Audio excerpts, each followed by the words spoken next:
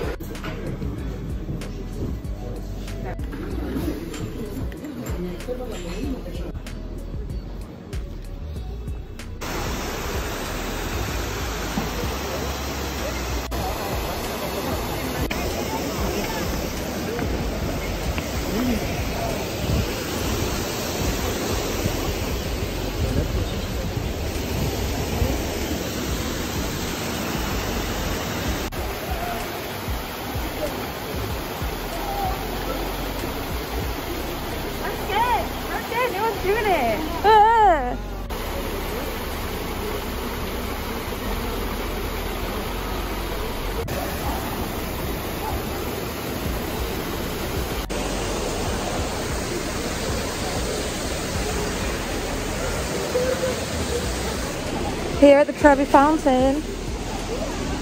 Can you hear me? Are you are you enjoying this uh, Rome ASMR?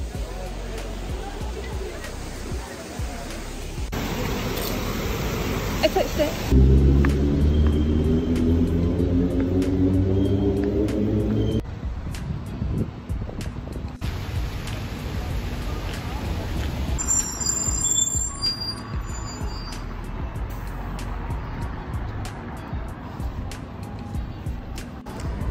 We are on our way to the Colosseum. We just walked past the Roman Forum, but we're going to do that on the way back.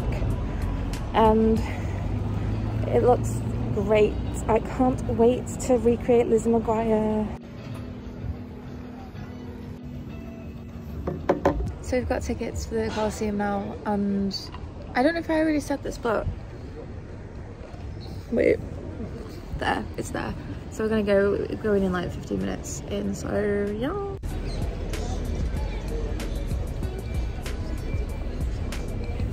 wow wee look at that Wait, wait, I didn't even get it in. Amazing.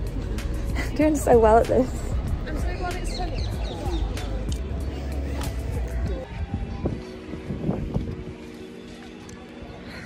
Italy.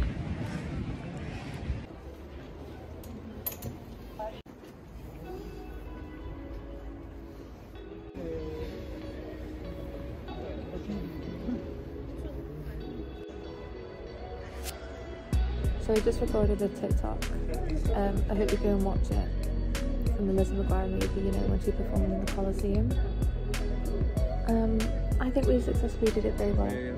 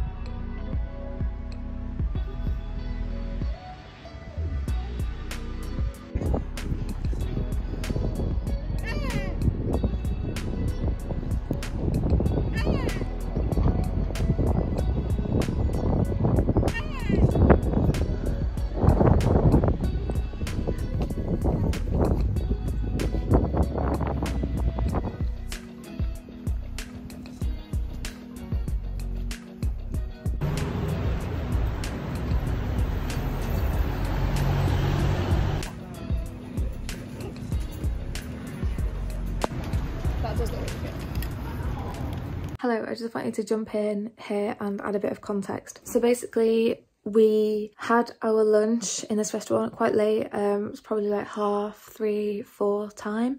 And then we kind of ambled back to our hotel. Obviously went back through the Trevi Fountain Way, um, the Pantheon Way, Piazza Navona Way, that sort of thing. And the Colosseum was the furthest away tourist attraction for us anyway, so it did take quite a while to walk back, um, just chilling. And then we went back to our hotel, chilled for a bit, and then got ready for our night out, if it was. Clubs weren't open in Italy yet, but we had decided before we came that Friday night was going to be our, our big night. So we would just drink more, stay out longer, because basically we had a free day on Saturday. All we wanted to do was see the Spanish Steps, and that was it. So we were in no rush, basically. Um, could stay up as late as we wanted. And yeah, I just thought we would add some context there. So we just went to this bar in Piazza Navona, which was like the only bar that had some sort of atmosphere. And um, also, if you see that our group size increases, we made friends and it was great and I loved it.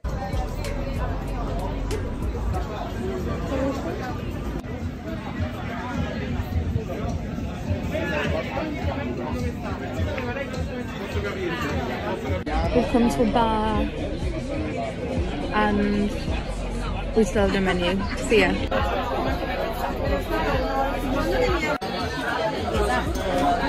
Three, two, one.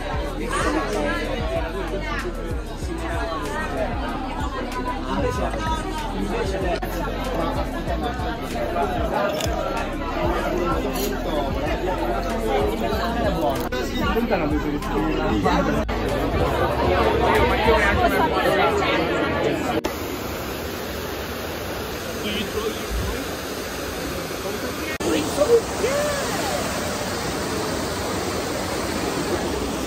the Fountain at night.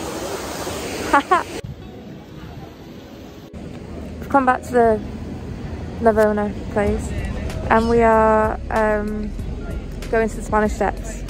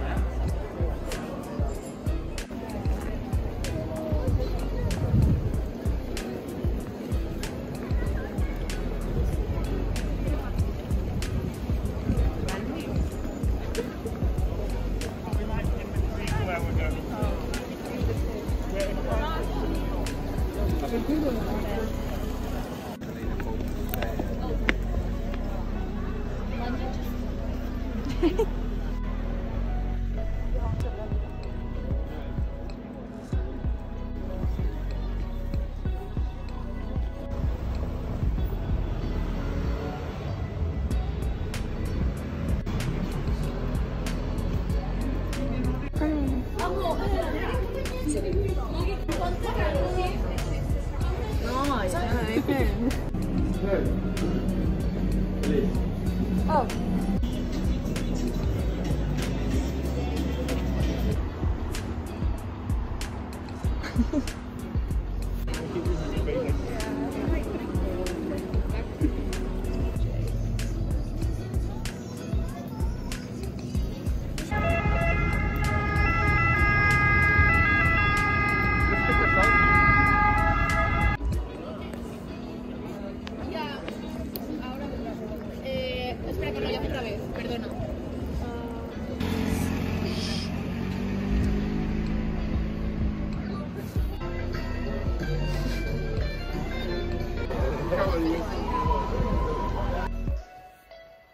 Thank you so much for watching. I just wanted to add on about the ticket people at, I mentioned it in my previous video, my previous Rome video about the Vatican and also it happened at the Colosseum as well. No one told us about this and also just be really careful about it. I did research before I went so I watched loads of like travel videos, I watched, I read loads of blogs and stuff like that and nothing mentioned it but basically you can buy tickets on the door. If someone talks to you and is like, I work, I'm I'm a worker, I'm like an actual worker, whatever, I work for the Colosseum. No, they don't. The only people who actually work for the tourist attraction are the people inside the tourist attraction or like literally on the gate.